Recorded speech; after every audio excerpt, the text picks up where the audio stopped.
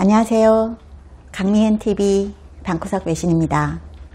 지금 보여드리는 화면은요, 베니 존슨의 트위터에 올라와 있는 자료인데요. 이 베니 존슨은 뉴스맥스에서 앵커를 했었죠. 지금은 퇴직했습니다. 그런데 이 사람이 이거 올렸어요. 자, CBS에서 2020년 대통령 선거 밤, 아, 대통령 선거일 밤 11시 16분입니다. 방송하고 있는 장면인데요. 여기 보시면, 자, 우편 투표 카운트된 게 14만 2,584표입니다. 그런데 이 우편 투표 request 된 게 10만 8,500표예요. 그리고 이 우편 투표 return, 어, 돌아온 우편 투표가 8만 9,680표입니다. 그런데 어떻게 카운트가 14만 표가 되죠? 이거 진짜 이상하죠? 이런 상황, 진짜 이상한 상황들 많았습니다. 그래서 베니 존슨이 그런 얘기 했었어요. 뉴스맥스 앵커를 할 때. 이상한 선거 결과에 대해서 의문을 제기하는 것은 권리다. You are not crazy. 의문을 제기한다고 해서 미친 거 아니다. 이런 얘기 있었어요. 이거 보시면 어떻게 카운트된 게 14만 2,500표인데 우편 투표 요청된 게 10만 8천 표. 심지어 return된 표는 8만 9천 표예요. 근데 카운트된 건 14만 2천 표입니다. 이 말이 되나요? 그래서 never forget 이렇게 쓰고 있어요. 그리고요, 바이든이 미국은 카운티 단위로 선거가 이루어지잖아요. 그런데 all US county 중에서 16.7%에서만 이겼답니다. 그런데 어떻게 8,100만 표로 선거에 이겼다고 할 수가 있지? 이 매직, 그건 마술이다, 마술 이렇게 얘기를 하고 있어요. 또 요새 트위터에서 이런 거 많이 올라옵니다. 트럼프 대통령의 러닝메이트로 부통령 후보로 터커 칼슨 지지하면 어떨까요? 뭐 이런 거 많이 올라오더라고요. 저는 이 칼툰 너무 웃겼는데요. 이 정의의 여신, 법을 집행하는 정의의 여신이 눈을 가리고 칼을 들고 트럼프를 질질 끌고 가고 있어요. 그래서 정의의 여신이 drag queen이다. drag queen이라는 게 남자가 여자로 어, 분장을 해가지고 뭐 쇼하고 이런 거 있죠. 드랙 퀸이라고 하는 것도 웃기고 정의의 여신이 트럼프를 질질 끌고 가고 있는데 말하자면 법의 어, 법과 정의에 대해서는 눈 가리고 있다. 뭐 이런 뜻이죠. 그리고 it is not against the law to challenge the results of an election. 선거 결과가 선거 과정이 이상했다면 거기에 대해서 의문을 제기하는 거 불법 아니다. 권리가 있다. 이렇게 얘기하는 겁니다. 트럼프 대통령이 뉴햄셔에서 유세를 했습니다. 또 베테랑들, 전직 군인들 모아놓고도 또 유세를 하고 했는데요.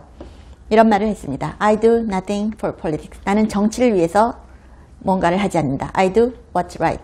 옳은 일을 위해서 뭔가를 한다. 라고 했고요. 지금 공화당이 의회에서 자 바이든 비즈니스가 20 million 달러를 부통령일 때 이미 받은 거, 외국에서 받은 거기 때문에 이거는 국가 안보에도 결정적인 거죠. 근데 이거 뇌물이다. 이렇게 어, 결론을 내렸습니다. bribe money다. 뇌물이다. 외국에서 뇌물을 받은 부통령, 지금 대통령 이렇게 냈고요.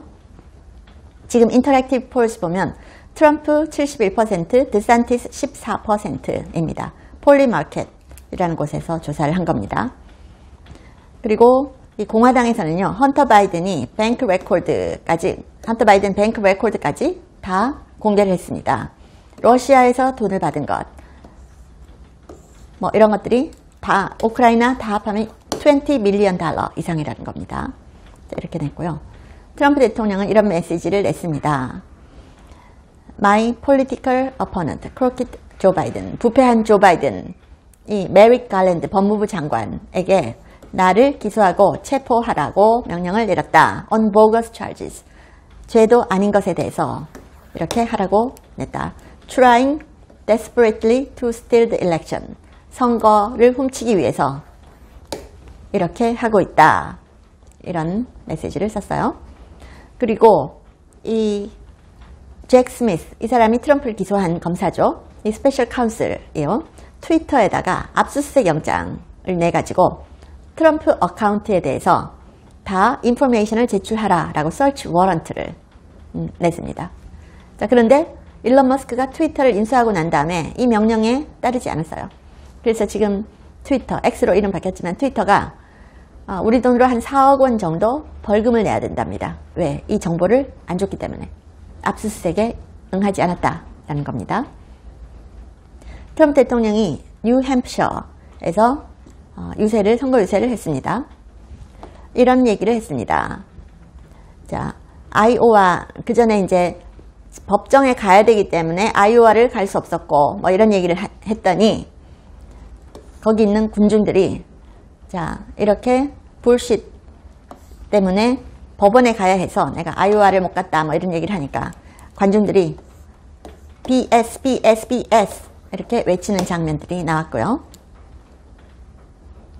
그리고 트럼프 대통령이 이렇게 얘기를 합니다. 나는 당선되고 나서 어, 학생들이 배우는 교실에서 critical race theory 몰아내겠다. woke lunacy, 미친 woke, wokeism 다 몰아내겠다. 그리고 바이든이 만들었던 COVID 강압 정책 다 없애버리겠다.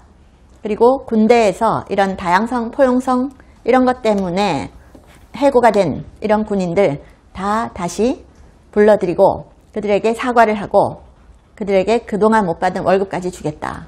이렇게 얘기를 했습니다. 아이오와에는 8월 12일 날 간다고 합니다. 거기서 또다시 유세를 합니다. 아이오와. 엄청나게 많은 사람들이 모일 것 같습니다. 자, 뉴햄프셔에서 얘기한 거, 이 얘기도 했습니다. I'm the only candidate who can make you this promise. I will prevent World War III. 3차 세계대전을 막겠다. 내가 약속한다. 3차 세계대전 일어나지 않도록 막겠다. 라고 했어요. 그리고 globalist를 다 몰아내겠다. 커뮤니스트, Marxist, 파시스트 다 몰아내겠다. We will drain the swamp. 늪의 물을 내겠다. globalist, deep state 다 몰아내겠다.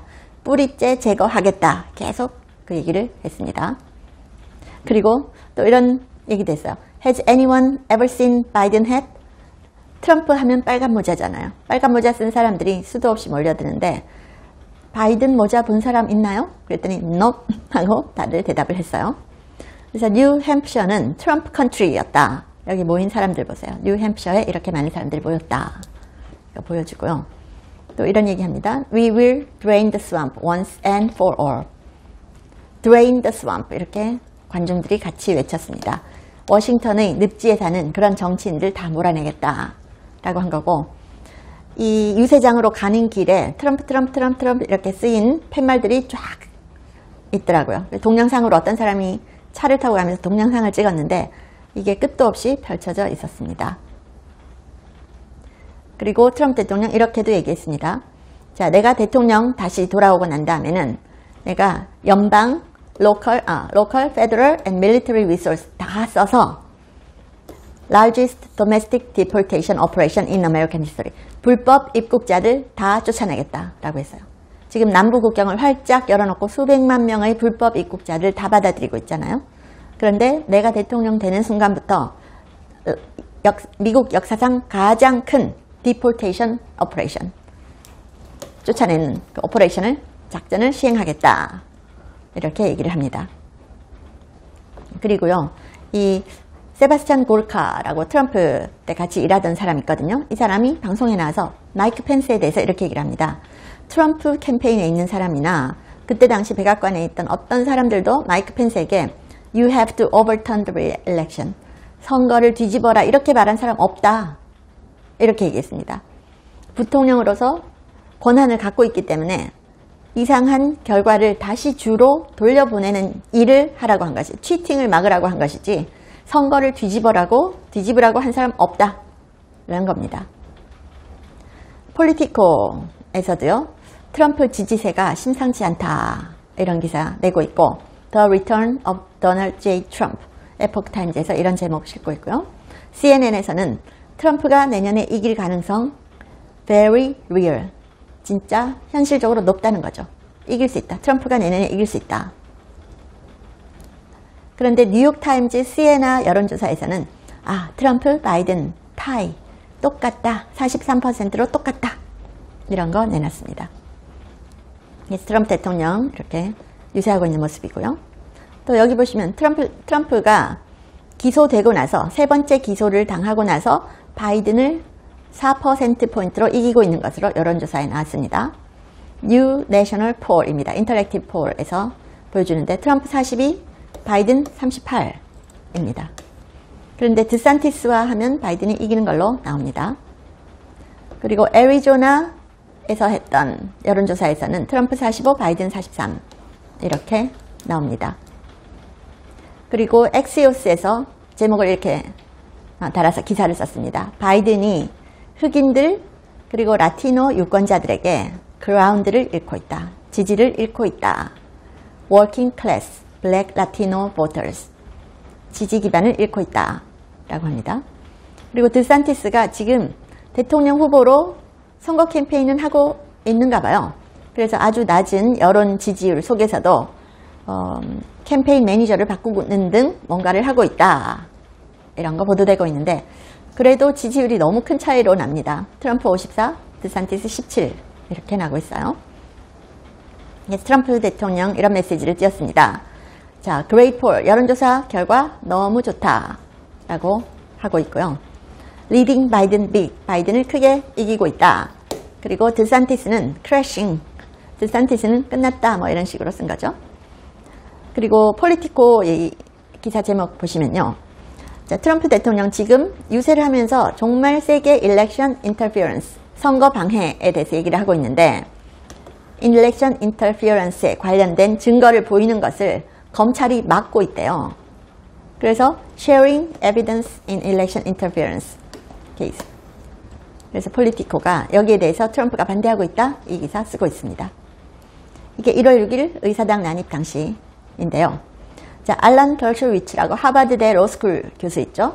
Get Trump, 트럼프를 잡아라 라는 책을 쓴 사람입니다. 그래서 민주당이 어떤 식으로 트럼프를 잡으려고 하고 있는지 그 책을 쓴 사람인데 이분이 그 얘기 했었죠.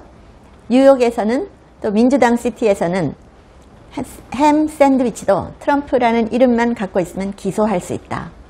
그리고 트럼프가 이런 도시에서는 fair trial, 공평한 재판을 받을 수 없다. 이걸 TV에 나와서 얘기를 하더라고요. 그래서 트럼프 대통령 이렇게 유세를 계속하고 있는데 법정에도 나가고 유세도 하고 정말 정말 바쁩니다. 그래서 알란 덜쇼이츠, 이 하버드대 로스쿨 교수가 트럼프가 공정한 재판을 받으려면 이런 민주당 도시에서 하는 재판을 다른 데로 옮겨야 된다. 이런 얘기를 하고 있어요. 워싱턴 포스트가 8월 2일에 보도한 건데요. 오바마가 바이든을 만나가지고 private talk를 했답니다. 트럼프의 정치적인 힘이 너무나 세기 때문에 다른 전략이 필요하다. 이런 얘기를 나눴다. 라고 워싱턴 포스트가 보도를 하고 있습니다.